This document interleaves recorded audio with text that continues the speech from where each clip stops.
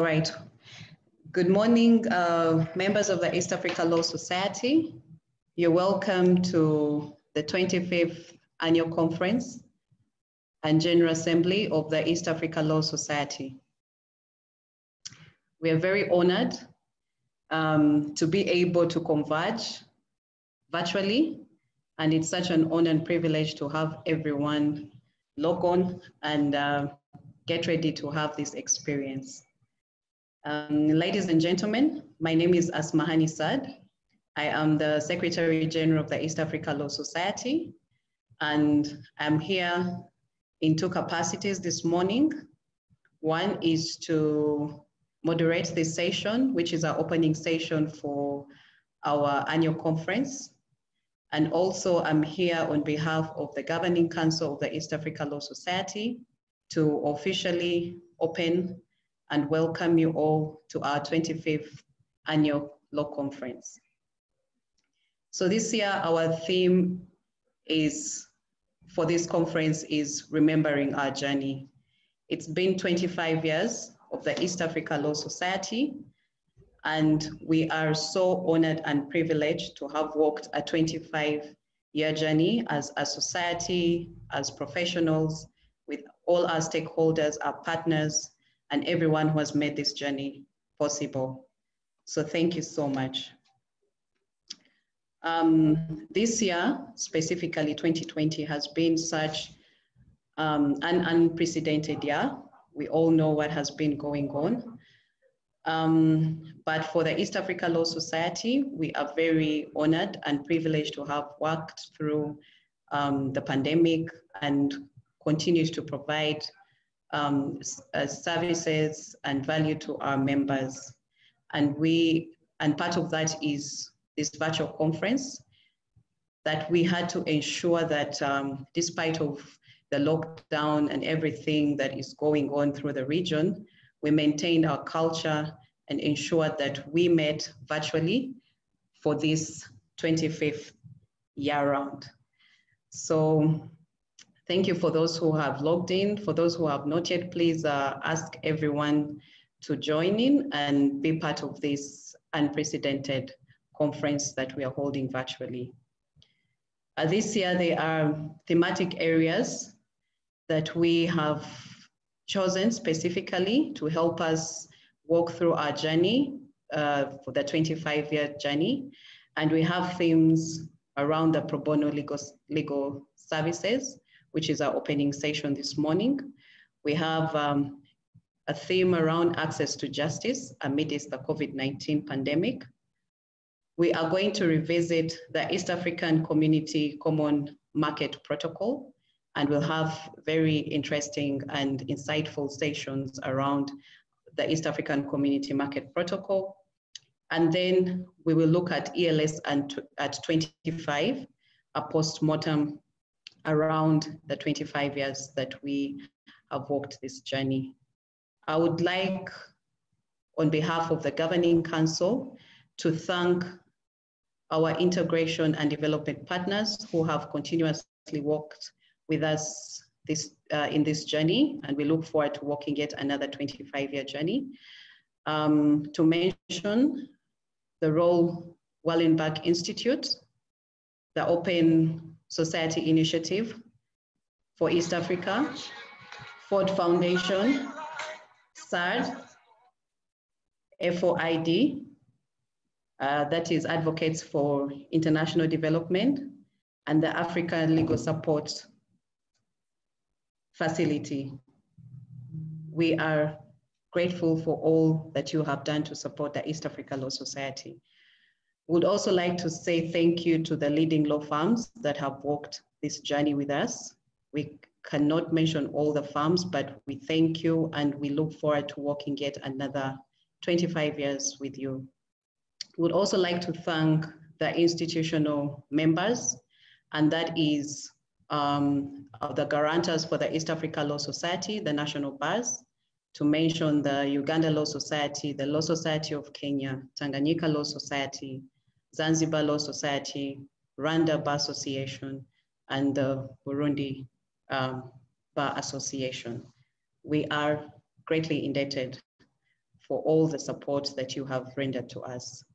And lastly, last, last but not least, all the members of the East Africa Law Society, thank you for allowing to be part of this society.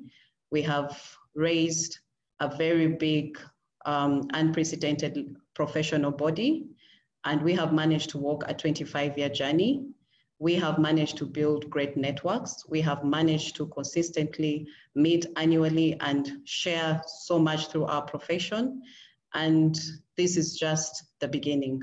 So for all our members and our partners and all the support system that we have around East Africa Law Society, we thank you. So without further ado, I'm going to um, officially open the session, this morning session, which is on um, the ELS and it's an it's um, it's ELS and A4ID session on promoting culture of pro bono for the legal community in the East Africa region. I would um, like to thank A4ID, that is Advocates for International Development, and RoLE UK for their continuous partnership that they have rendered to the East Africa Law Society to deliver high level training around business and human rights. We have continuously um, held different workshops, different programs, different trainings around the region. And A4ID and RoLE UK have played a tremendous role to ensure that businesses or lawyers around the East Africa region are very, very much aware of the human right practices that, are that should be rendered as part of the business practice. Um, would also like to thank A4ID and RoLE UK for the tremendous work they've done in promoting the United Nations uh, principles on business and human rights. They have also rendered such tremendous support in ensuring that the nationals, the countries have um, support in formulating the national plans for their business and human rights practices. Um, so on this specific day, um, A4ID is, um, is, is part of this session and we are so happy to have them on board. And our agenda is to clearly discuss and ensure that as we live today, we get back to that place where we remember the importance of the culture of pro bono and also have an opportunity to learn and understand why it is important for us as lawyers around the region to, to um, give back to our communities through pro bono. Um, we also expect to have um, um, shared experiences, success stories, and impact of what pro bono legal services have been to our society and our communities at large. We will also discuss the challenges that have been a limitation to the provision of legal services, especially for commercial law firms.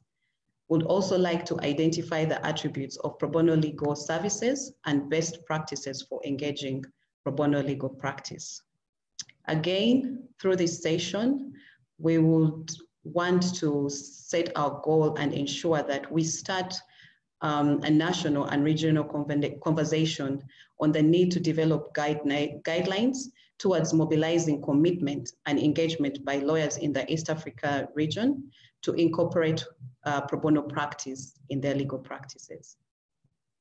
Would also like to identify areas of law and possible approaches that the legal community in the East Africa region can use pro bono legal assistance to support civil society, development organizations, and social enterprises to address emerging challenges in different areas of law to cope with the adverse impact of the global crisis, um, the COVID-19 pandemic, but also to open our minds on how else can we prepare for such instances if we are to ever face such challenges in our society. So it is my greatest honor to introduce to you our panelists for this session. Um, we have um, uh, the CEO of A4ID, uh, Ms. Yasmin Batliwala, and we have uh, Aisha Abdallah, who is a partner of ALN Kenya, Anjarwala and Khanna, Robert Powell, who is the Director of Pro Bono, Weil Gotshal and Manges, uh, and Manges LLP UK, Faith Odhiambo, LSK Council member and convener PIL, the Legal Aid and Human Rights Committee. And lastly, we have Luke McMichael, who is the Pro Bono Legal Services Officer for A4ID, which is the Advocates for International Development. Um, I would love to now uh, ask um, or introduce to you uh, Ms. Uh, Yasmin Batliwala, who is the CEO of A4ID, who will come in and give us our opening remarks, and then we will get into our presentations. Thank you so much, and we hope um, you have a very, very fruitful time. In case you're having any technical difficulties, please feel free to use the chat box. We have a technical support team that is ready to respond. If you have any questions or would like to have an interactive discussion, uh, once again, please take uh, make use of the chat box. Yasmin, I'll hand over to you now. You're welcome. Thank you very much indeed. I'm really delighted to join all of you at this session, which is focused on the culture of pro bono. It is really a pleasure and an honor for me to be asked to make the opening remarks. And um, we have, I think would be fair to say, a very distinguished um, panel of speakers at this session. So I have no doubt that we are in for a treat. Now, I work in the business of pro bono. Advocates for International Development, or A4ID as we are known, is an international charity that works with pro bono lawyers to achieve the Sustainable Development Goals, the SDGs. Our mission is the eradication of poverty using the law and lawyers in that fight. But what do we mean when we talk about legal pro bono? I am aware that legal pro bono means different things to different people. To me, it's simple. Legal pro bono is the provision of legal service and expertise without any compensation. It has been my experience that a number of key features that arise from this definition. First, my definition does not distinguish between the type and quality of legal service provided pro bono against fee paying work. That is, pro bono matters are given the same level of attention as fee paying matters. Sometimes this is not observed in practice and pro bono work can be deprioritized, if not in quality, then in the time it takes to deliver it. This is obviously understandable but it is improper. At A4ID, we take pro bono matters that we refer seriously. If the work is completed is, uh, at a substandard level or is unreasonably delayed, we address this with our law firm partners. Lawyers offering pro bono therefore must uphold the same standard of service as they do towards their fee paying clients. Second, my definition does not distinguish the client experience between pro bono and fee earning work. Clients must be treated with the same level of professionalism and respect. Pro bono clients must be listened to and feel empowered by the process. Third, my definition does not restrict the type of clients that can be served pro bono. A common theme is that only individuals can be and should be able to receive pro bono help. There is absolutely no logic in this distinction. Charities, for instance, have legal needs that they cannot afford to meet. And if these needs are met and that the charities can be more effective in the work that they do, then the impact of this pro bono support is increased by orders of magnitude it therefore makes sense to support charities, and this type of pro bono is the type of pro bono that A4ID promotes. In short, the only difference between pro bono and fee earning work is remuneration. So this is the definition of legal pro bono which we operate at A4ID. simple, clear, and one which works very well. I do, however, believe that pro bono should be in the DNA of every lawyer, part, if you like, of a gut instinct that injustice should be rectified through the instrument of law, and that it should be available to everyone, not just to those who can afford it. And so now that I've provided a definition of pro bono, you may say, but surely pro bono is only a side activity of the legal profession, with lawyers helping out on their pet projects in their spare time. Maybe years ago that was true, but it is certainly not true today. Pro bono is now a sophisticated sub-industry of the legal profession with many full-time lawyers devoted solely to pro bono. Lawyers have a responsibility to ensure the widest access to justice available, and that is available to all. One way of doing it is through legal pro bono. There is so much demand for legal assistance. The challenge really is to know where to start. One solution, of course, is to utilize pro bono, um, a pro bono broker like A4ID. Now, we have over 850 development partners who comprise primarily of NGOs and civil society organizations with unmet legal needs. We ensure pro bono projects come from vetted development organizations, and we ensure that pro bono projects address concrete legal issues. A4ID works with over 50,000 lawyers around the world who donate thousands of hours of their time for free. So pro bono is no longer a side activity, but is core to the business and values of many of the world's largest law firms.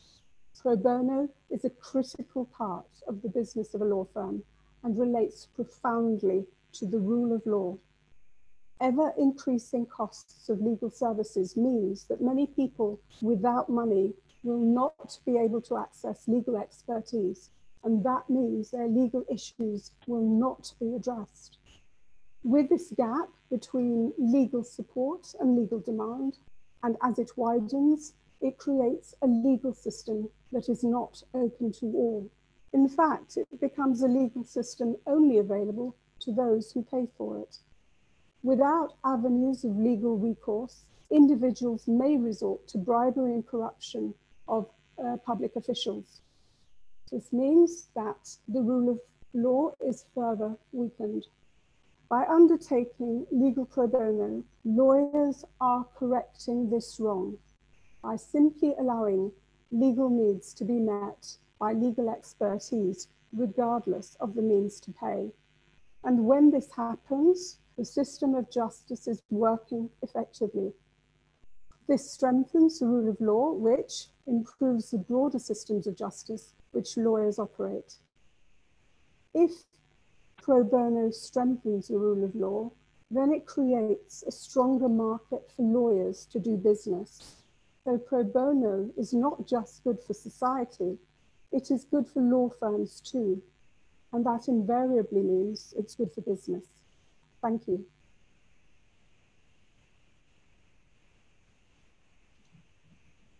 Um, thank you so much, Yasmin, for those uh, for your opening remarks. Um, we'll now continue with our program. I will now hand over to Ms. Aisha Abdallah, partner of ALN. Uh, good afternoon, Kenya, everyone. Ajwala. Sorry. Good afternoon, Aisha. I'll just do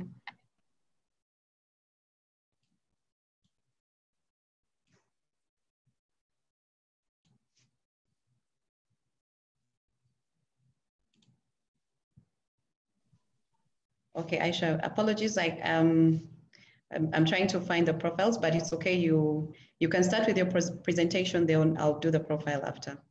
Sorry about that. Uh, thank you, Asmahani. Um, good, good afternoon, everyone. Uh, thank you for this opportunity to talk about pro bono work. Um, I'm head of, uh, I'm the patron of our pro bono committee at um, Anjarwala and Khanna, and I just wanted to explain um, the steps we're taking in our firm and in our network to promote pro bono work. Um, so the first thing we did about three years ago was we set up a pro bono committee um, and we, we, we asked for volunteers across um, all the different departments in the firm. And um, these are people who are already personally committed to undertaking pro bono work. And we, we thought about um, what skill set we had in the firm, and we decided, having um, undertaken a survey of our staff, to, to try and come up with certain themes that we would support. So we can't do everything, but we decided if we were strategic, we could make an impact. And we came up with five themes um, that staff in our firm felt very strongly about and wanted to support. And the themes are as follows, that we undertake pro bono work that improves governance and promotes democracy.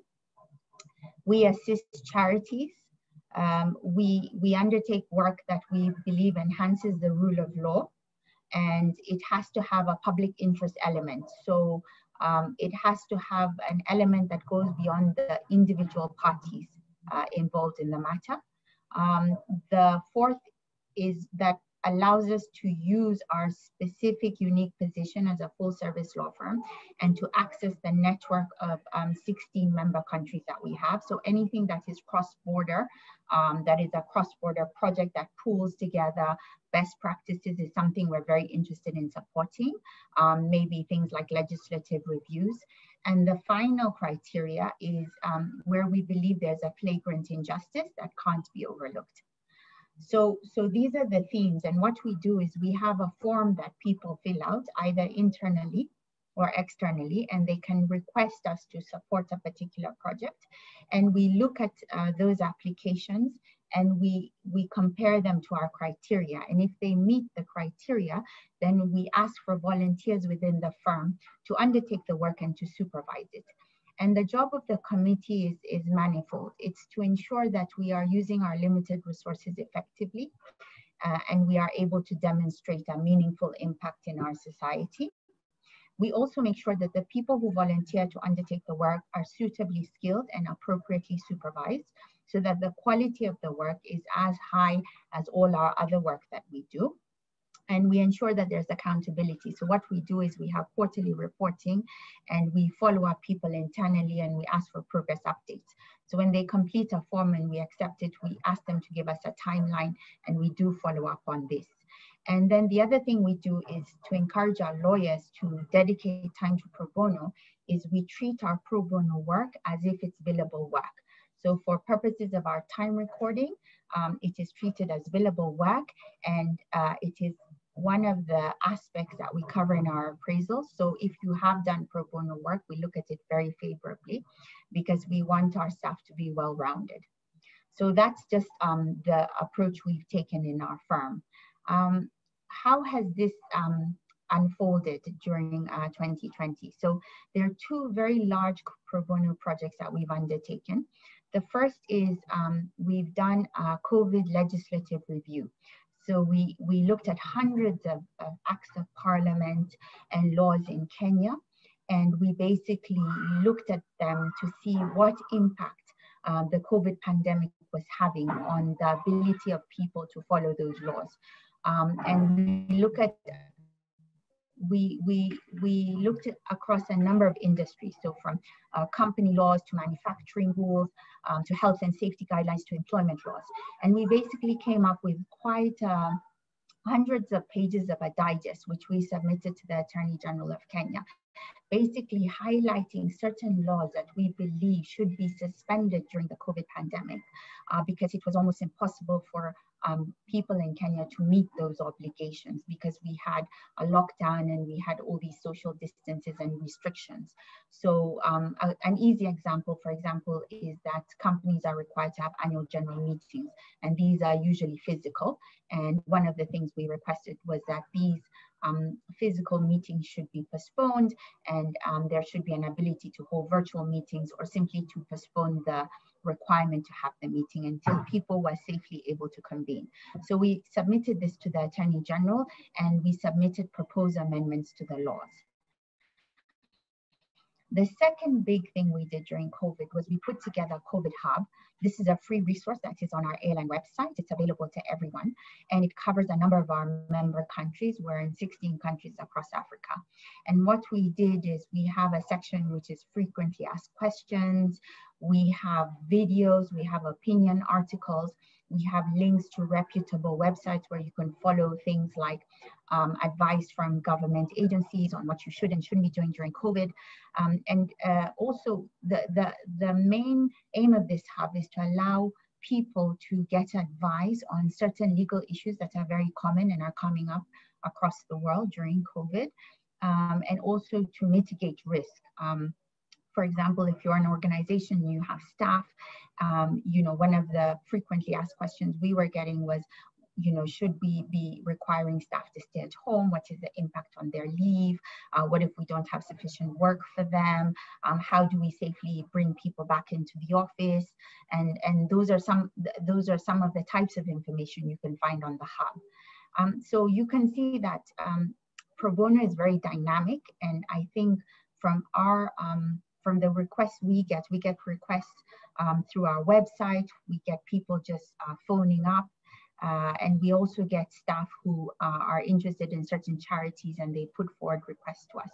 We see that there's an increased need, um, particularly at this time for pro bono work and high quality pro bono work. And in fact, we are overwhelmed with requests. One of the challenges we face is being selective and making sure that the projects we choose to support are meaningful projects and are going to have a lasting impact. Um, and I hope um, that gives some ideas to other law firms who want to encourage their staff to do more. I think there's a way you can uh, create systems to incentivize staff to participate in these types of projects. And we totally agree that it is in our best interest to enhance the rule of law. And this is one of the ways that we do it. Um, thank you.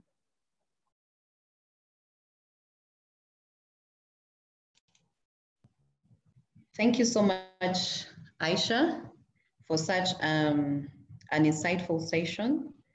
Um, I think uh, what has come out very clearly is that um, at your farm at Anjarwala, you have been very, um, very consistent and you have uh, been very um, instrumental in um, setting pace for what kind of pro bono work yourselves can decide to have and not being, you know, um, ideally taking up everything from the thematic areas to, you know, having creative ways you're handling it through the, the hub, the pro bono hub, and also that you can clearly um, identify that there's an increased need of pro bono, but not just pro bono, but high quality pro bono work. So that is also very interesting to know that even people who need these services don't just need any kind of service, but they need high quality pro bono services.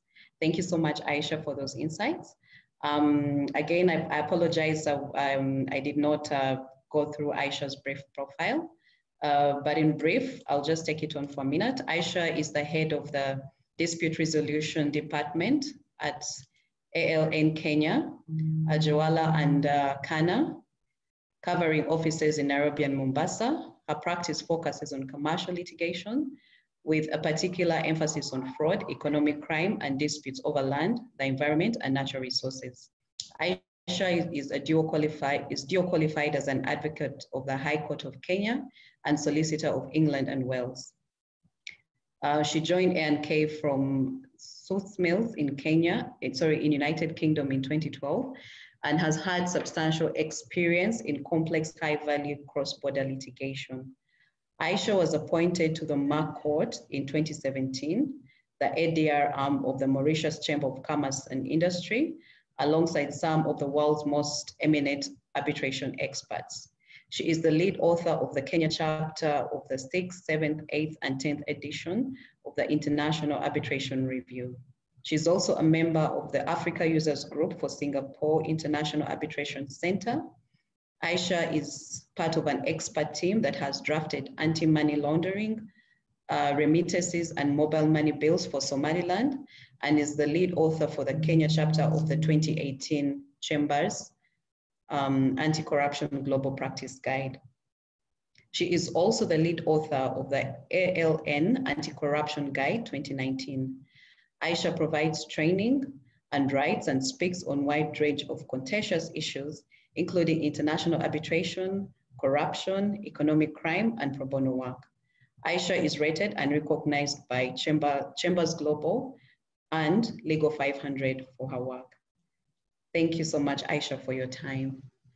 Um, so next, uh, I will move to our next uh, panelist to take us through his discussion before we break into our panel discussion. I would also like to remind um, our members, if you have any questions or comments, kindly note them. We are going to get into a panel discussion after the next panelist and would love for it to be as interactive as possible so that the objectives of this session are met. So our next panelist is Robert Powell, who is the direct, Director of Pro Bono, Weil Gotshal and Manges LLP UK. Uh, so briefly, Mr. Powell is the architect of the London office's award-winning corporate responsibility and inclusion CR&I program. Primarily responsible for running the London pro bono practice and designing community initiatives such as WELL, widening entry into law and improving lives and raises aspirations 2013. He also works with colleagues on inclusion, well-being and sustainability initiatives. He is a frequent speaker on the social responsibility circuit and regularly contributes to industry reports and thought leadership articles. He is also on the board of Special Olympic GB and Heart of the City, and on the advisory board of several UK charities. Uh, Robert, we are very, very honored to have you for this session, and I'll hand over to you now for your presentation. Thank you. Thank you very much. Um, and it, it's a huge pleasure to be here. Um, and good afternoon, everybody. It, it's morning time in the UK, um, where I currently am, just outside of London. Um, but it's a real pleasure to speak to so many of you and, and great to see such a great attendance. Um, and, you know, I, I, it was fantastic listening to Aisha um, talking about um, their pro bono practice and what they've done to develop that because there was a number of um, points and steps which they have taken, which are the things that you know Weil did um, a number of years ago, and, and they're a great starting point to developing a, a pro bono practice and a pro bono culture. So let me just start with a little bit of information about Weil. Um, we are a law firm. We're headquartered in New York. Um, we employ around 2,000 um, people across the world. I'm based in the London office, uh, where we have about 400 people almost. Um, and we call pro bono our finest hours. Um, that's that's the phrase that we use. And when I joined Weil, um, about six years ago. I love that phrase because pro bono, you know, we take great pride in the pro bono work that we do, and it really is our finest hours. Um, and, and just listening to Aisha um, talking about some of the practical steps they took, um, you know, it all makes perfect sense because, you know, first of all, we need to develop some structure to pro bono. So we need to have things like a committee, you know, a small group of people within the law firm who are passionate about pro bono, who want to drive pro bono forwards um, on behalf of the law firm. Also, things like having a pro bono policy, which sets out, um, you know, what um, you know, pro bono is. So Yasmin spoke at the beginning about the definition of pro bono, and I appreciate there are many different definitions. Um, but you know, for us at Weil, very similar to um, A4ID, you know, pro bono is the provision of free legal advice to individuals or organizations that are unable to afford or access legal representation. And as lawyers, as members of the legal profession, you are in a position where you have um, a magical power. You know, you have skills and resources and expertise and talent that you can use for the public good. Um, and so at you know, we have a pretty far-reaching pro bono practice, um, and we um, advise NGOs, charities, social enterprises, and individuals um, in all manner of social issues. So it could be homelessness, it could be human rights, it could be environmental justice, it could be poverty, social mobility, um, food, what access to food, um, you know, whatever it is. What we try to apply is um, a number of things. One is, do we have the expertise to do the pro bono work? And I think that's something which Aisha talked about, about being selective. You know, we can't take on every single request we receive. Um, so, you know, we um, work with clients, pro bono clients, who, again, very similar to what Yasmin and both Aisha said, you know, our pro bono clients um, are treated in exactly the same way as our fee paying clients, both in terms of the due diligence we carry out, the engagement terms, and the service delivery. And one of the best parts of my job is when I receive feedback uh, from pro bono clients to say that they felt um, amazing. They felt like we um, treated them just like a fee paying client and that we were always on the end of the phone. We were really responsive um, and we really listened and got to understand the challenges the organization um, was facing. So it, it's, it's, it's good to, you know, if, if I was starting completely from scratch, I would say start small and think big. So, you know, first of all, think about you know your core areas of practice as a law firm. What areas of law do you practice on behalf of your fee paying clients? And then think about how those areas could align with advising a charity for example. Um, so it could be on strengthening governance within charitable organizations or civil society organizations um, it could be helping social enterprises to raise finance. Um, so your finance practice could, could help. It could be employment law or intellectual property.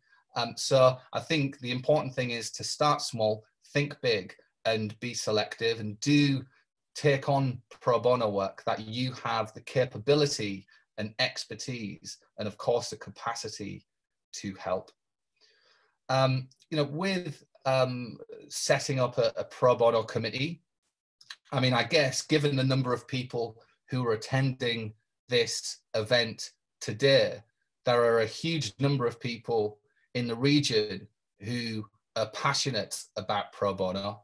Um, so within your law firm, a good starting point when you finish um, this event today is to go back to your colleagues um, and speak to colleagues who you know um, feel strongly about pro bono with the view to setting up um, a committee. And, and I think Aisha mentioned a survey. So I love surveys. I'm a massive fan of going out to my colleagues to um, obtain information about pro bono. What types of pro bono work do they want to do? Um, what social issues do they feel passionate about? Do they like big pro bono cases or kind of discrete pro bono matters? And we do this every two years. So we survey all of our partners and lawyers um, and we ask those three questions. What social issues do you care about? What types of pro bono work do you want to do? And do you like kind of long term, big pro bono projects or kind of small, discrete requests? And that then helps us to bring in pro bono work that we know people um, in the office are passionate about. And it also helps to then farm the pro bono work out. So we encourage all of our lawyers across the world to do 50 hours of pro bono a year. Um, and similar to Aisha, which I was really impressed by as well, we um, don't distinguish between pro bono work and billable work. Um, pro bono is counted as billable hours. Um, and this sends a very important message to um, our lawyers on the importance of pro bono and how seriously um, the firm takes it.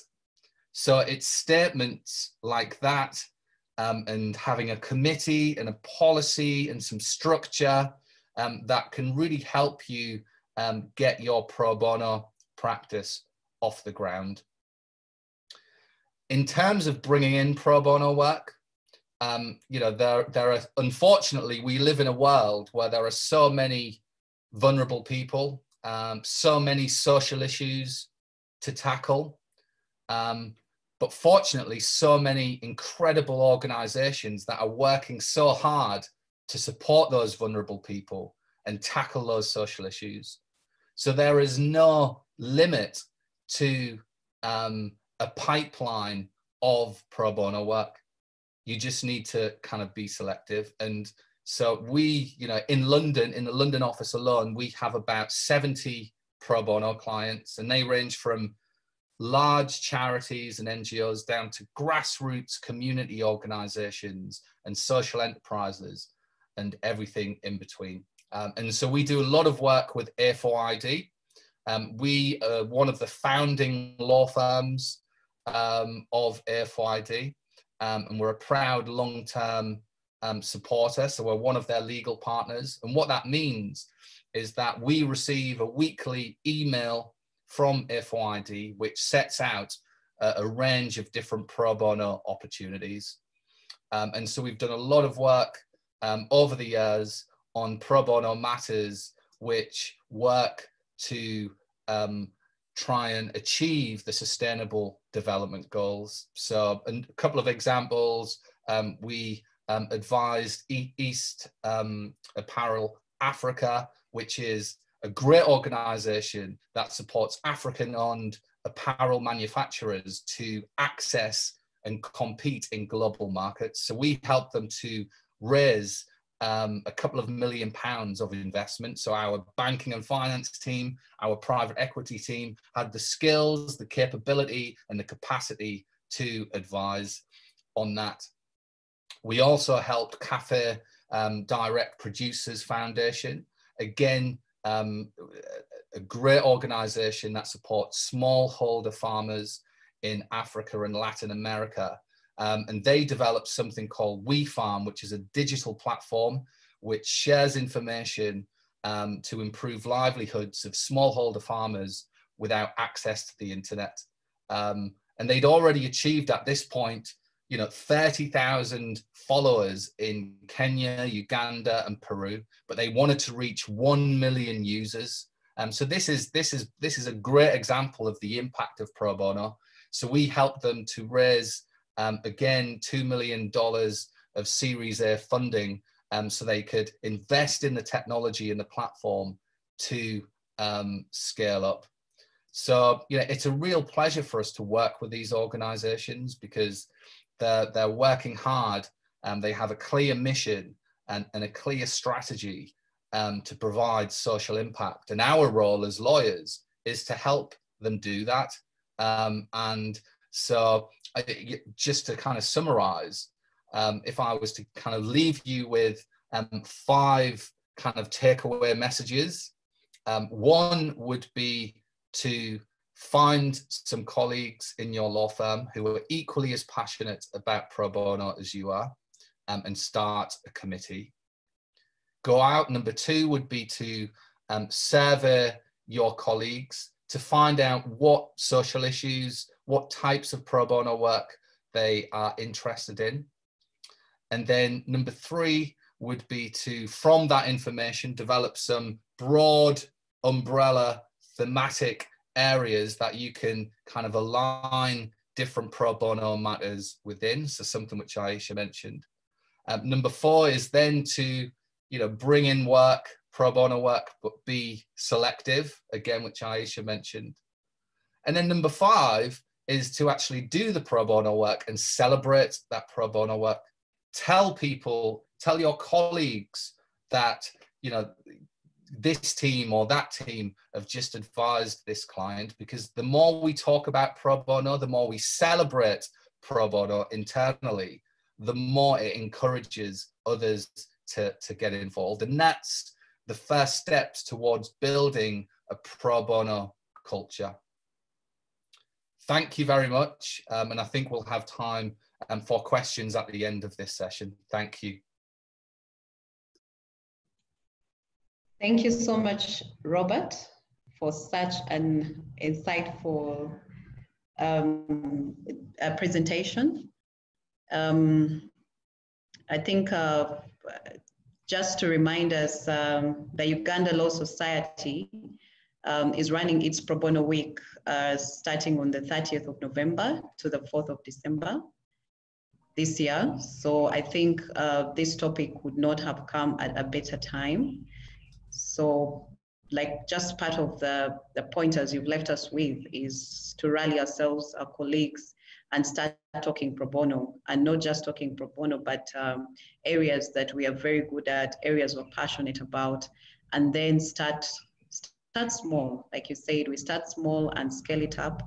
I also love the fact that you say that you know we should be able to celebrate our pro bono work internally and then be able to share it with other people so that we can encourage more and more people to be versatile in their practice, to be open to you know sharing what they know with uh, the less privileged, and in a way also um, provide the same quality as the billable work. I think that is also very very important um, for us uh, lawyers in our mindset, knowing that your work is your time is worth the money. We sell time. So thank you so much, Robert. Um, uh, we now come to the end of our presentations and uh, we are going to open up our panel discussions. Uh, so for all the members who are here, I've, uh, I've seen a couple of questions uh, come through during uh, Robert's um, presentation.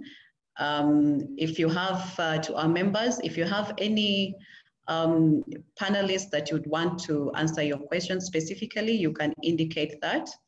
Um, if not, then uh, our back room, a back end will be picking up the questions and uh, we will random, randomly share them with our panelists and hope that for the next 30 minutes, we will be able to have a very interactive and fruitful discussion leading us into better legal practitioners. So I will introduce our panelists, uh, the rest of our panelists. Um, our third panelist is Faith Odhiambo from the Law Society of Kenya, uh, Law Society of Kenya, PIL, PIL, the Legal Aid and Human Rights Committee. Faith is a member of the Council of the Law Society of Kenya and the convener of the, of the LSK Public Interest Litigation, Legal Aid and Human Rights Committee. She is an advocate of the High Court of Kenya and a partner at MMA Advocates LLP, where she heads the corporate and uh, commercial department. Faith has also been a lecturer at the University of Nairobi and the Catholic University of East Africa, where she taught commercial law, insurance law, labor law, securities regulation, bankruptcy, criminology, among others. She has a bachelor's of law degree from Catholic University of East Africa and a master's of law in competition law, international financial services, and foreign investment law from Kent University. Faith, Karibu. We're so happy to have you on our panel. Um, lastly is uh, Luke McMichael, who is a representative from the Advocates for International Development, that is A4ID. Luke is the Pro Bono Legal Services Officer at A4ID. In the role, in his role, he facilitates the provision of pro bono legal services from A4ID's legal partners, consisting of some of the world's leading law firms, barristers, in-house lawyers, and legal academics. To A4ID development partners, consisting of NGOs, nonprofit organizations, some social enterprises, and developing country law societies, bar associations, and governments who are working to advance the UN Sustainable Development Goals. Luke is South African. He's a South African qualified attorney and has over eight years of experience in the legal profession as a lawyer and a legal advisor. Before he joined A4ID, Luke worked in the private practice as an environmental and planning lawyer with Norton Rose, um, Fulbright, South Africa in Johannesburg, where he worked primarily on large-scale infrastructure projects in the renewable energy and mining industries in the southern part of Africa. As a lawyer, he has experience in corporate and commercial law. Luke also volunteers as a senior researcher at the Blockchain and Climate Institute. He holds a Bachelor of Arts in Honors degree in Environmental Science and Law from Rhodes University, a Bachelor of Laws and Masters of Laws, specializing in environmental law, both from the University of Cape Town. What an honor to have you Luke on this panel. So I would, um, I would ask our panelists uh, to um, unmute themselves and um, we will start our panel discussion. Um, I will ask uh, uh, uh, Faith and Luke uh, to just briefly have their opening remarks for the panel session. Uh, within two minutes, then we can open it up uh, to the members. Thank you. Faith, you can go first. Okay, um, thank you and thank the East African Law Society for this opportunity to discuss um, the importance of pro bono work. So for us as the Law Society of Kenya, we recognize the importance of pro bono work and we have set up a committee which I chair as part of the council that ensures that we offer um, pro bono work to the um, pro bono services to the members of the public um, stemming from the fact that we have over 17,000 lawyers, um, it's only imperative that we also give back to the society. Um, we have recently, um, due to some of the challenges that even um, the panelists mentioned um, as they were speaking, us as the Law Society of Kenya, we've always had challenges in terms of bureaucracy, in terms of how the council appoints, PI lawyers, identifying cases timely to be able to intervene. Um, it's a bit time consuming, the limited resources, and also trying to regulate um, since there's no actual law that strictly regulates um, pro bono work. And also the, the apathy, there's no um, pro bono culture that has since been developed um, that has picked up, though I'm encouraged by what firms like ALN are doing. Um, so for us, what we have tried to do is encourage as much as possible for advocates to volunteer their time to sit in that committee so that we have set various subcommittees that we're able to manage and also ensure that we sort of um, ensure proper service delivery to be able to make follow-ups that not only is LSK allocating pro bono advocates to handle different matters, but also those matters are handled professionally and we're able to get feedback from our clients. Um, we set up the toll-free line once COVID-19 um, COVID hit.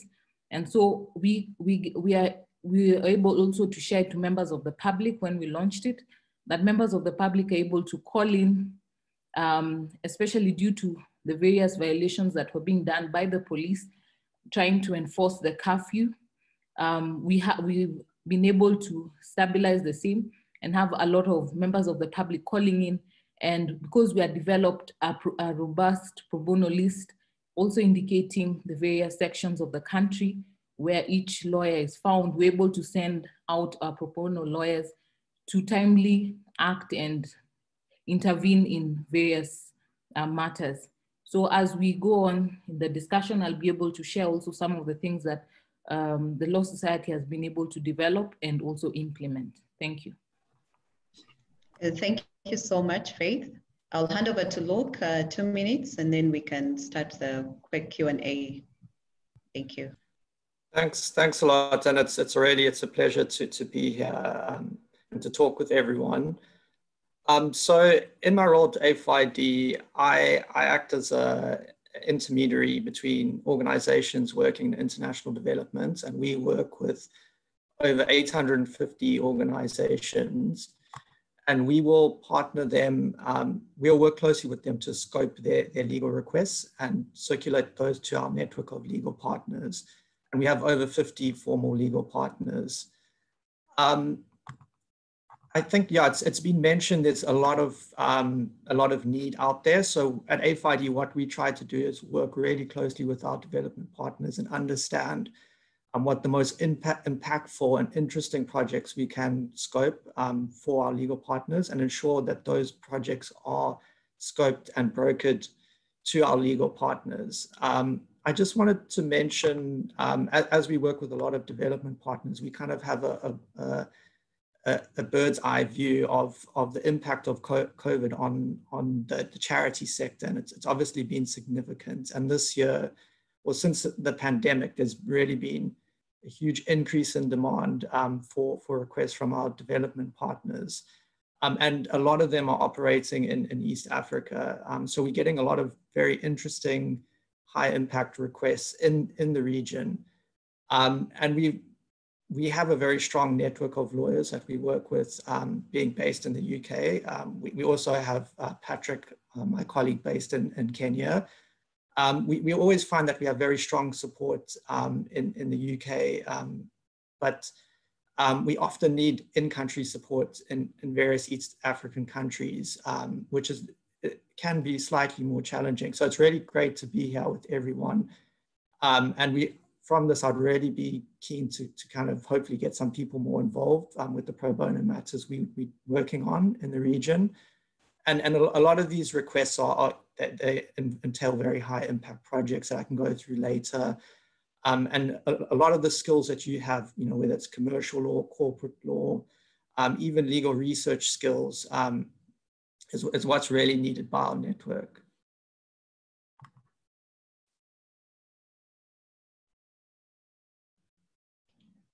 All right, thank you, Luke.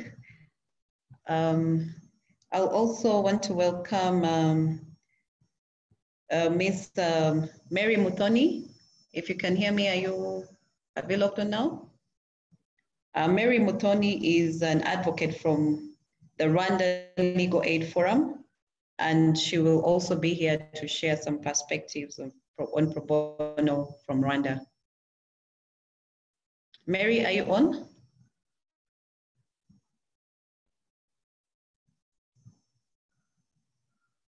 Okay, so as uh, we wait for Mary to join, I will um, take on some questions from the chat box and um, I will just uh, randomly ask the panelists to answer them. I think I'll take four questions per session so we can be able to pick as many questions as possible and also have, have this session as interactive as possible.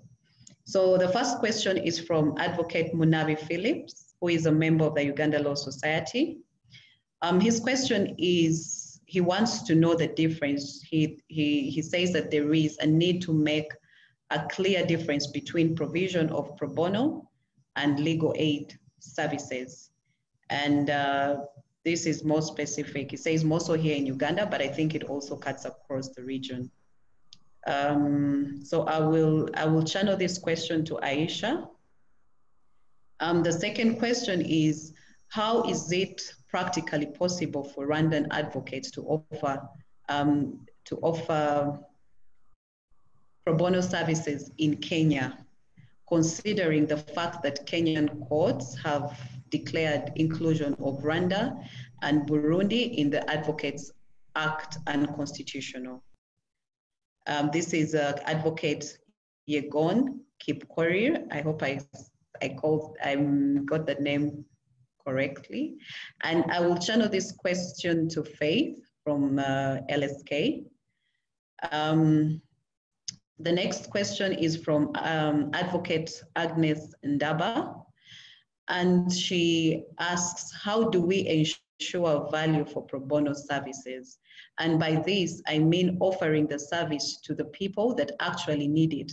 The people that need the service but are actually not aware that um, the service exists. So I will channel this to Robert Powell Um,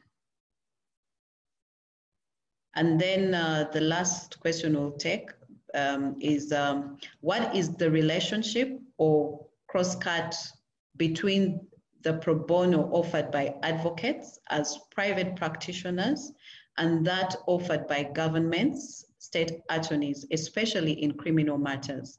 And this is from advocate uh, Lucius Bati GT. I didn't get the country she's from, um, but I'll channel this to Luke. Um, thank you so much. So I'll open up uh, the panel uh, discussions. Aisha, you can go first. Thank you. Uh, thank you. Um, okay, so I think the, the question was what is the distinction between pro bono work and, um, and work provided by governments uh, in the form of maybe legal aid or free representation for um, criminal uh, suspects and defendants. So the distinction is really not the type of work, but it's more who is doing it. So if if the person who is undertaking the work is being paid for it by the employer, so you're a government lawyer, you're being paid a salary, and part of your uh, duty is to defend suspects in court or to provide a certain service for free to the recipient, then that will be government uh, related or it might be a form of legal aid. If you are not being paid for that work, so I at Anjarwala and Khanna, I'm a partner um, I'm not paid any extra for the pro bono work I do it. I do it uh, because I believe strongly that it's important, but I'm not being paid for it. There's no um, client that is paying me to do the work, then that is pro bono. And I think um, really it's complementary because we want people, we want the government to fulfill its duty, which is to provide more free legal services to people. In a country like Kenya, we don't have enough lawyers available for people, and uh, most of us are out of reach of normal uh, wananchi. And we also want private practice lawyers to do more pro bono work, and they are complementary things. They don't, one doesn't replace the other, and we need both of them. We need the government to do more, but we also call upon our each other as private practice people to also do more pro bono. So I hope um, that gives you uh, some answer to your question. Thank you, Aisha. I'll next hand over to Faith. Um, thank you. Um, for for that, um, I always say there's always the politics behind it with regards to the question of reciprocity in practice. And our representative from Kenya, Barbara Malawa, will tell you that it's always been a struggle um, to ensure also Kenya is able to practice in Uganda and Tanzania, yet they're able to practice in Kenya.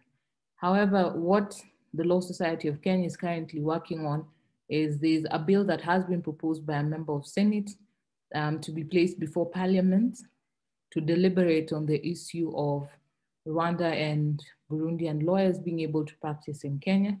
And as the Law Society will do our part to try and support the bill to go through. Um, so that's how far we are with the same because the challenge of the courts was that it's in the law. So unless the law is changed to facilitate the same, then unfortunately for now, you're not able to offer services. But as the Law Society of Kenya, we'll be working with Parliament to ensure that the bill goes through, at least from our part. Thank you. Thank you, Faith. I'll hand over to Robert. Thank you. Um, and just the, the question from, from Agnes, it's a great question around how do we direct pro bono to um, the people that really need the service, um, who perhaps are not aware that this service exists. And it's a great question.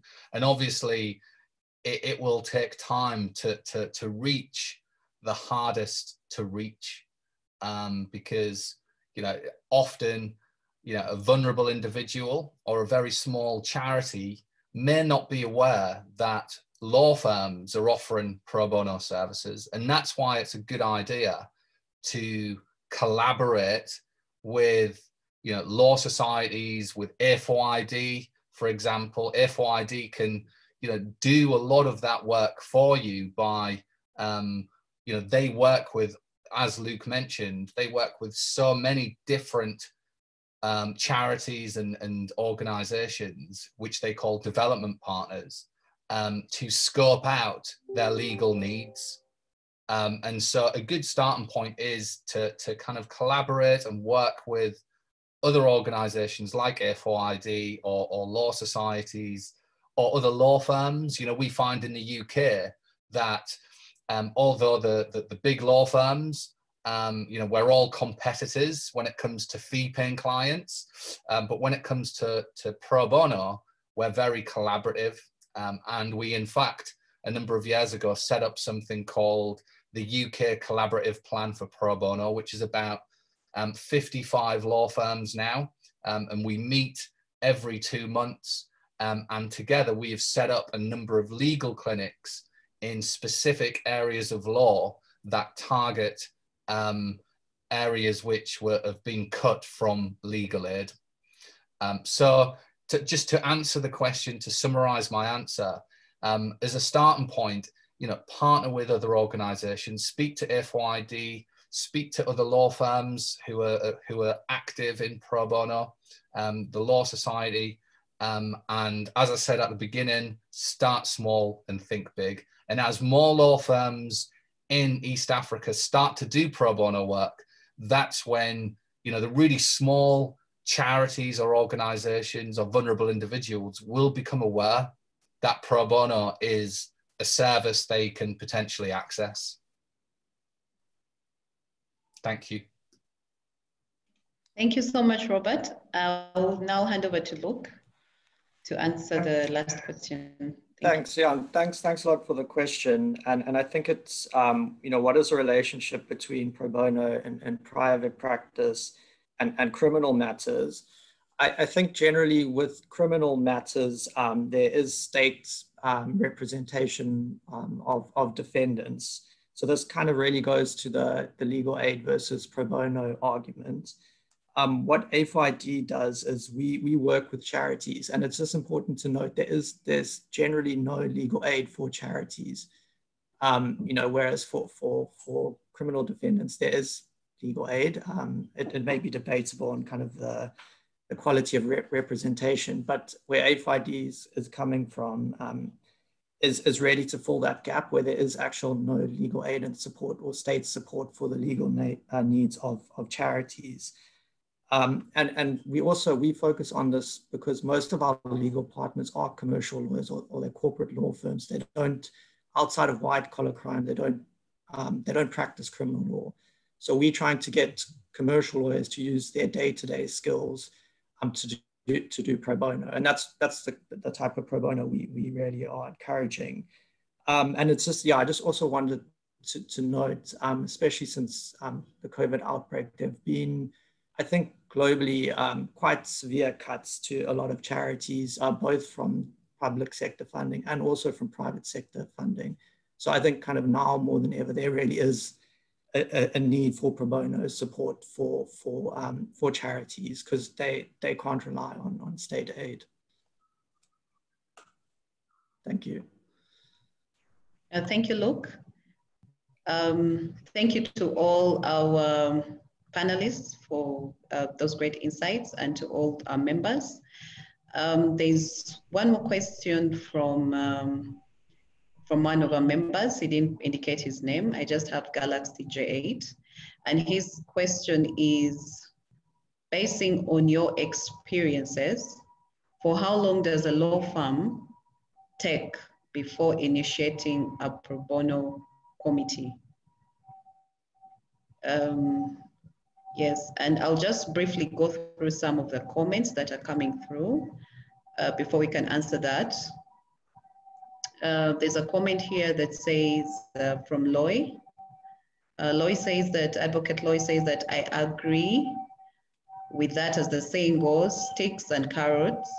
If there are no incentives, then recognition, appreciation, and celebration of pro bono work is valuable than money. So thank you for that comment. Um, also, we have a few minutes left uh, before our panelists answer that question. If um, there is any of our members who would like to ask our questions uh, live, you can please raise your hand and uh, the back end will unmute your mic and you can be able to directly um, channel your question to any member of the panel um, before we close our session. So I'll just hand over to Aisha or any other panelist who would like to answer the question on how long it would take uh, for a law firm to set up a committee. Thank you. Uh, thank you. Um, you know, a committee can be a committee of one. Uh, you don't need a lot of people.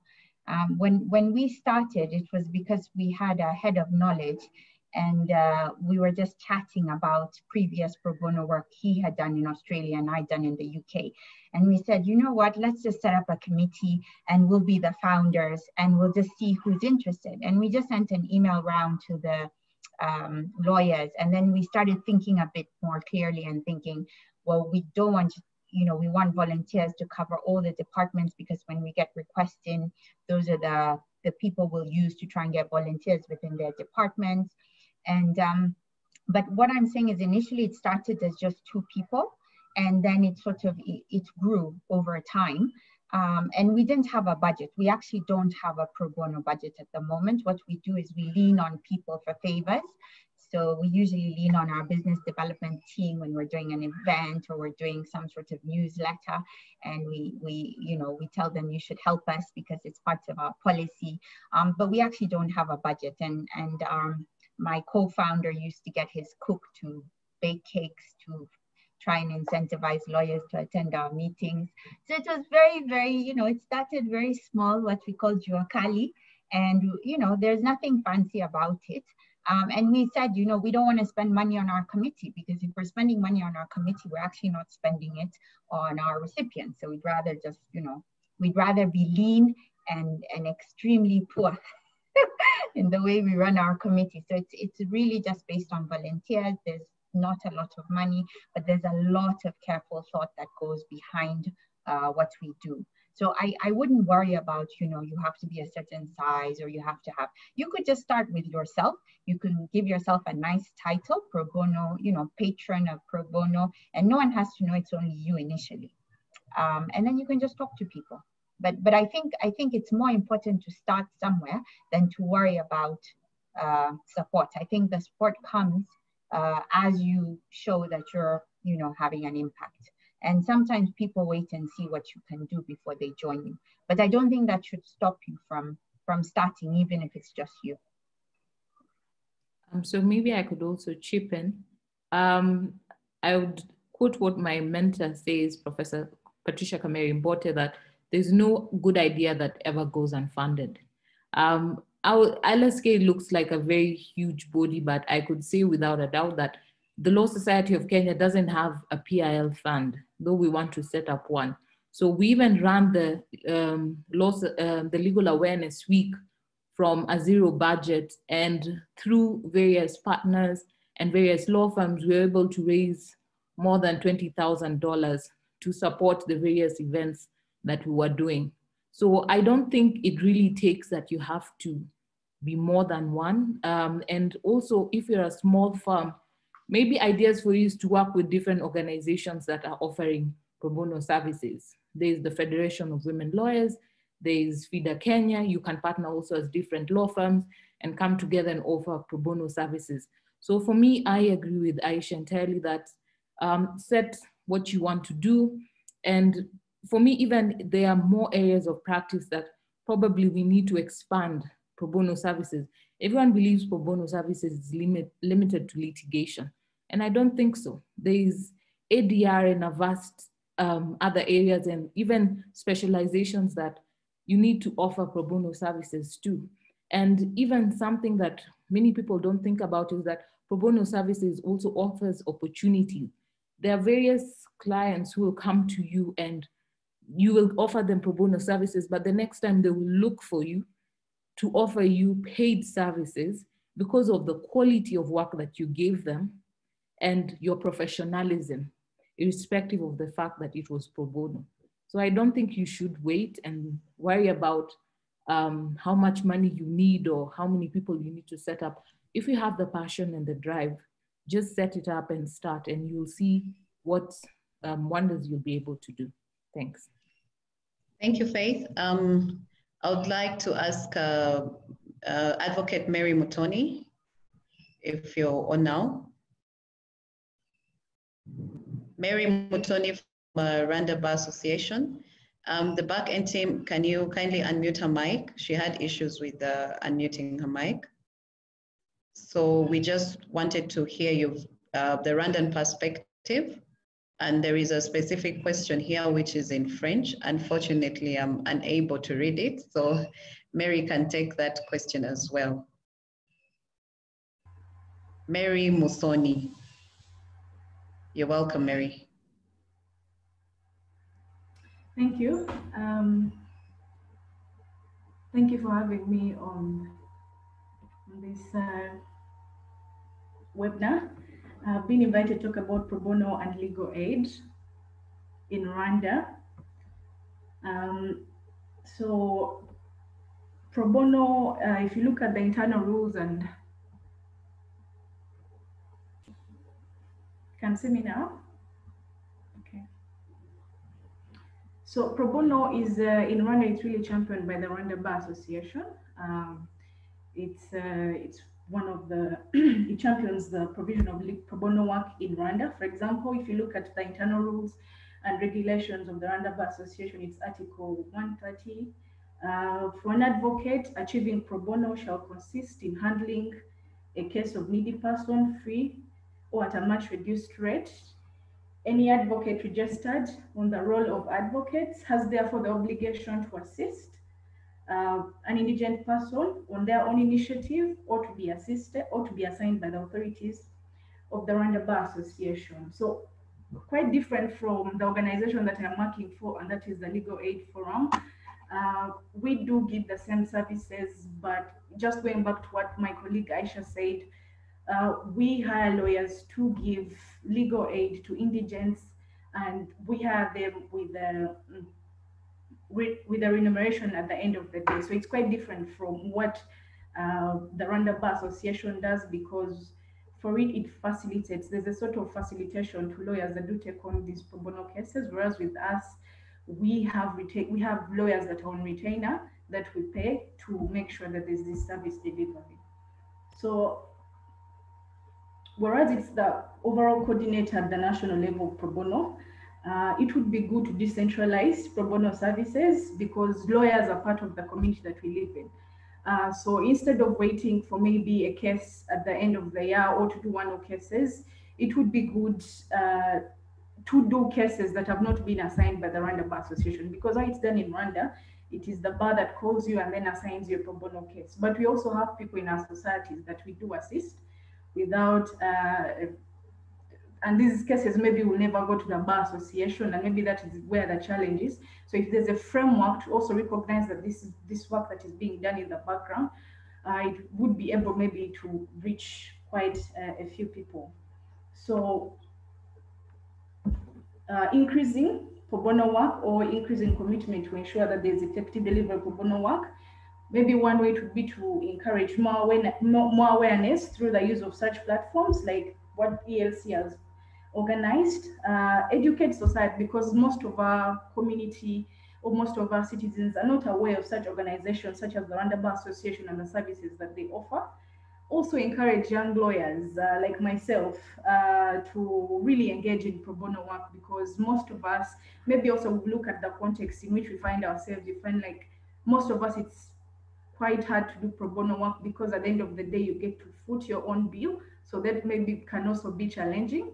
Uh, so, but if there's a way of incentives, which my organization has come in to establish, if there's of uh, providing incentives to, to these lawyers to encourage pro bono work, maybe that would go a long way. Also provide trainings for young lawyers and lawyers with unrelated expertise to develop their skills necessary to meet the needs of their clients. Also, there's a need to match cases with people's areas of expertise because you'd find that you are called to take on a case that you're not well conversant with. So maybe, um, and that would also discourage some people from going for pro bono because sometimes you tend to do cases that not you're not well aware of or you're not you do not have enough expertise in so uh, you find that most people do not go um, for it because of those uh, because of those challenges. So uh, with that, I've come to the end of my presentation because I was called on short notice to talk about pro bono and legal aid services.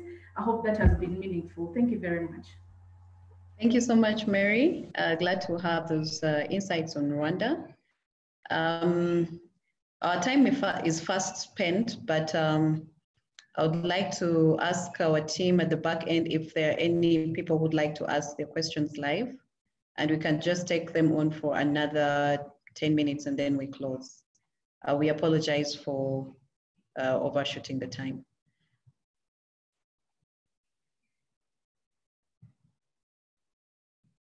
Do we have any um, any members who uh, would like to ask their questions live?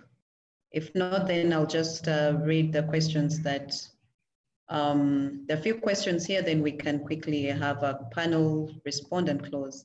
Um, there's a question from Mary, in Advocate Mary Tunjire. And her question is, how do we provide pro bono to indigent persons who are in designated fields? And um, Mary is from the Ministry of Defense in Uganda. Um, I'll, I'll, I'll ask any member of the panel who is able to answer this to do that quickly. And then the next question is, is it possible to have, uh, to have um, sorry, I'll say that again. Is it possible to have specialization on pro bono cases? Um, and then Mary also added uh, to her question, so the person answering this uh, allowed me to complete her question. She says it would be good to be all inclusive uh, since soldiers and veterans are all over the country. And then um, the, the, question, the next question is from Sophia AB, Advocate Sophia AB. Uh, she didn't indicate uh, from which uh, national bar she's from, but her question is, I think it's important to address the issues of free movement of services within the East African region and how the restrictions in certain member countries affect pro bono services. These challenges of free movement of services, and even more important now that the Continental Free Trade Area has taken off and member countries are still on negotiations of trade in services with the CFTA, that is the Continental Free Trade Area. Um, and then the last question would ask is, um, um, this is from our Advocate ja Jackie, the name is not very clear. I kindly request the panelists to share their views on ADR, that is alternative dispute resolution, and the possible role of pro bono lawyers. So I'll hand over to you panelists.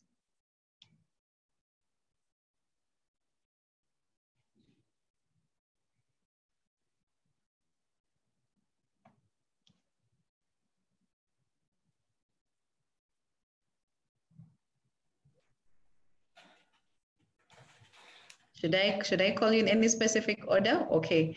Um, okay, Luke, you can go first. Whichever question you want to um, handle. Okay, great, thanks. And just yeah, just to respond to the question, is it possible to have specialization on pro bono?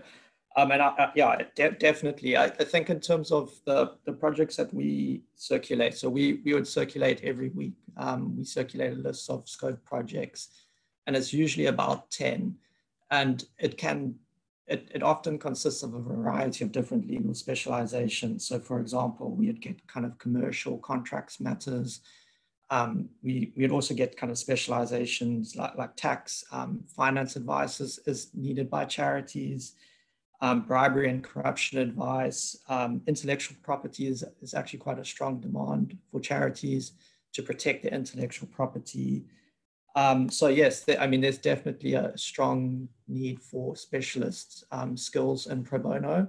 And I, I think there was a, a, a, kind of a comment earlier that, you know, is, is, is pro bono just litigation? No, it's, it's definitely not. Um, the, the, the, we actually, only a minority of the requests we get are for litigation support. The bulk of them are actually basically the, the kinds of projects that um, commercial lawyers deal with on a day-to-day basis, including all their specializations. So, so thanks.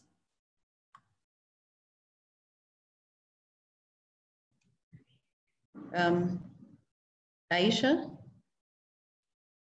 any specific question you would want to answer? Uh, maybe, maybe I think one of the one of the challenges that was mentioned was how do you make sure you're reaching indigent people and uh, making sure you're reaching outside of uh, maybe the capital cities. So I think that's a challenge because a lot of us are concentrated in maybe Kampala, Robi, um, and, and there's obviously unmet needs outside. But I think this would require a partnership uh, between people um, who are on the ground in rural communities and um, you know other organizations who are on the ground who have some somehow have a link back to maybe uh, lawyers through people like Faith Odhiambo at the Law Society.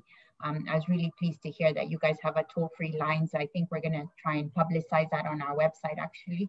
Um, but I think there's a lot of linkage that would need to take place to match the need outside of in these areas where people maybe can't access the services as well, back to people who can provide the service. And I think that's a challenge. And there's obviously a role not just for civil society, but I would think that there's a role there for the government because I would think it's a government responsibility.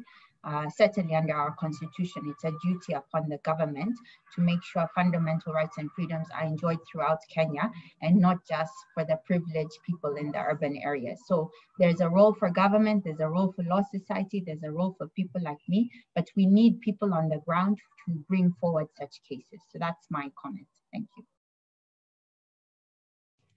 Thank you, Aisha. Um, Robert? Yeah, no, thank you. I mean, just just to add to, to Luke's um, response to the question around um, specialization. So, you know, I, I, think you know one of the really important parts of, of pro bono, just in in this in very much the same way as when we advise clients in a fee-paying commercial capacity, is that the work involved is clearly defined and scoped out from the outset. So when we enter into um, a relationship with a pro bono client, we know what their legal needs are and where we communicate with them what we can do and what we can't do.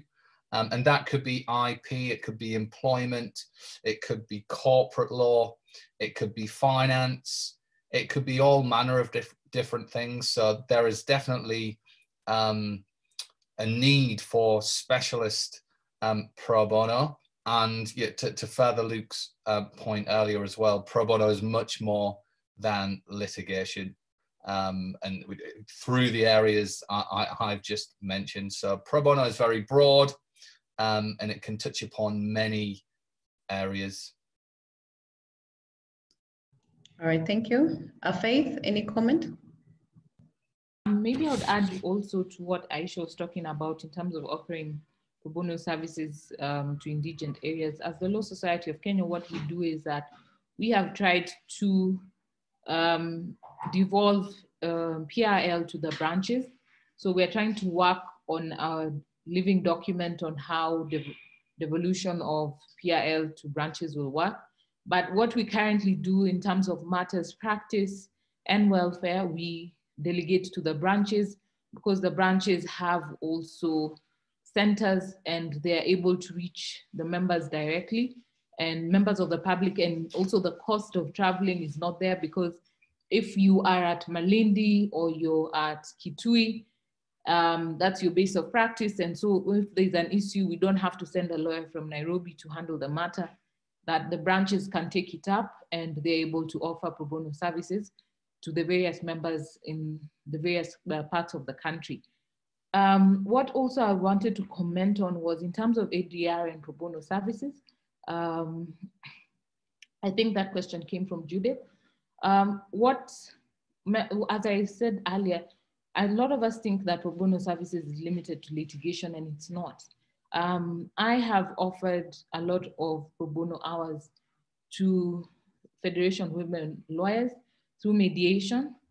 And what the Law Society of Kenya is trying to do is to partner with the ADR committee to be able to set up um, pro bono in terms of mediation, negotiation, and the likes to offer to members of the public because um, we realize that you also shorten cases by handling them through alternative dispute resolution. And so you, you can have pro bono um, using ADR. It's just that a lot of the specialized lawyers who have taken up that area of practice have not really moved to that area. But now that mediation um, has really taken root, particularly in the Kenyan courts, um, and the Kenyan courts use a lot of pro bono lawyers to offer um, services in terms of mediation before you file cases in court, and it's become mandatory.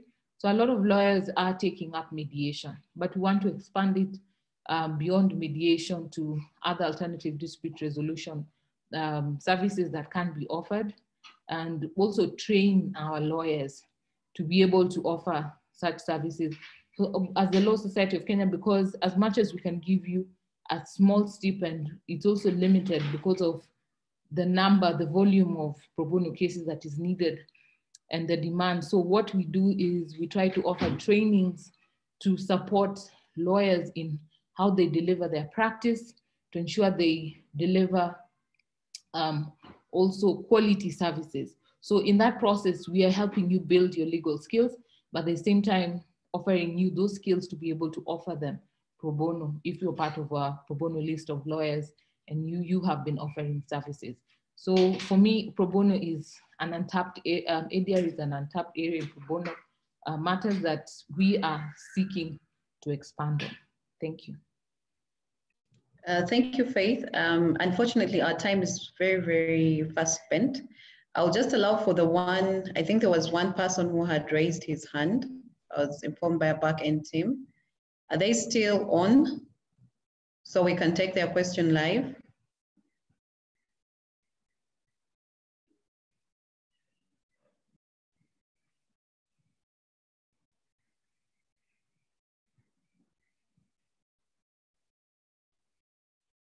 Uh, David Singano, do we have, do we still have the quest, the people, the members would love to ask their questions live?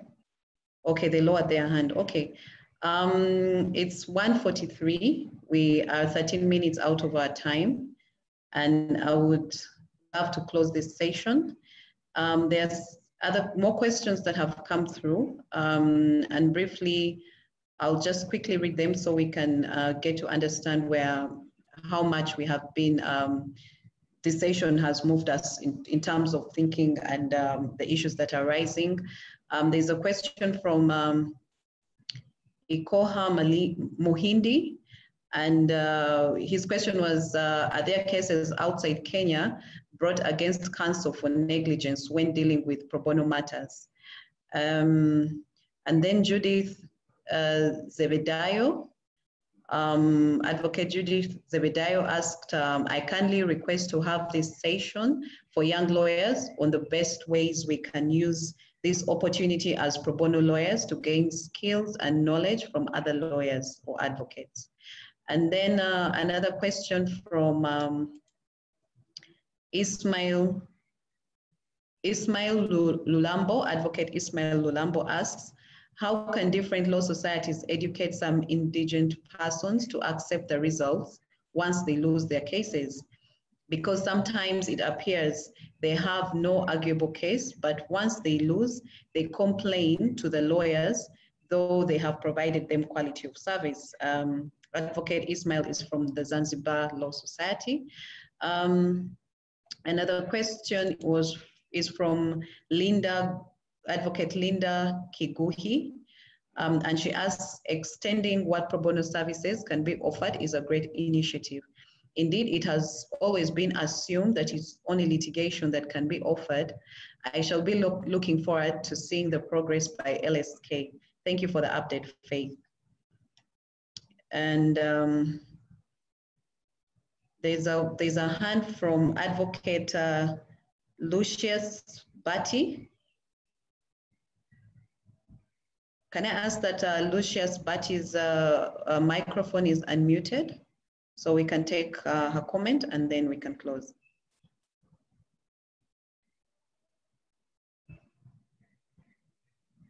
Advocate Lucius Batty, can you hear me? Okay, I will just take the last comment, which is from Advocate um, Harry Mbiro from uh, Tanganyika Law Society. And his comment or question is, um, can the ELS champion or guide, champion guide for pro bono across the member states so that we can have a seamless go-to society plan and borrow a leaf from each society to the other. Thank you so much, Advocate Harry. That has been um, noted and uh, we will keep updating you on the progress of this. So with those few questions and comments, I would, um, I would love to close this session. Um, the questions that have not been answered have been taken note of and uh, we will share any information that will best guide on uh, those issues or questions. Um, I take this opportunity to thank our panelists for such uh, um, great insights and for sharing really on uh, and, and, and putting this light on um, the pro bono culture around the East African region and for the East Africa Law Society and the different national bars. Um, once again, I thank uh, the advocates for um, international development, A4ID and RoLE UK for uh, leading and supporting ELS on this session. And uh, lastly, but not least, I thank all the members who have logged on and uh, given us the one and a half hours or so for this session. Thank you for making it a very successful session. And uh, we hope um, to see you at uh, 2.30 for the next uh, session for this, um, for day one of our ELS conference, which will be on access to justice during um, the COVID-19 pandemic. So thank you so much. And we look forward to seeing you today, tomorrow, and also at our annual general meeting on the 26th. So thank you.